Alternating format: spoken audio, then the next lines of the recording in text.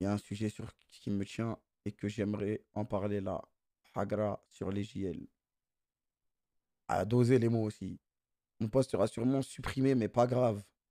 Mais vous avez trop cru, c'était le régime euh, de dictature. euh, Je ne comprends pas pourquoi à chaque fois qu'un JL fait une remarque sur le chat, on allume au un JL. En vrai, ça se fait beaucoup moins.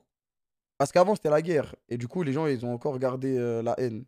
Les gars, vous croyez trop, on dirait on a peur de parler de certains sujets, etc. Mais à l'époque, c'était la guerre. Et du coup, il y en a, ils, ont, ils, sont encore, ils ont encore les nerfs. Mais ça se fait beaucoup, beaucoup moins qu'avant. Voire euh, rarement. Quand j'avais JL dans mon pseudo, je n'aimais pas interagir avec le chat car on m'allumait souvent sans aucune raison. J'aimerais juste comprendre d'où vient cette méprise envers eux. Non, mais en vrai, il n'y a rien. En vrai, il n'y a rien. On a fait plein d'émissions ensemble. Il n'y a vraiment aucun problème. La preuve, j'étais sur euh, leur serveur Rust cette semaine. C'est juste, il y a encore des gens qui, qui ont encore la haine. Mais euh, ça, ça me nuise. D'année en année.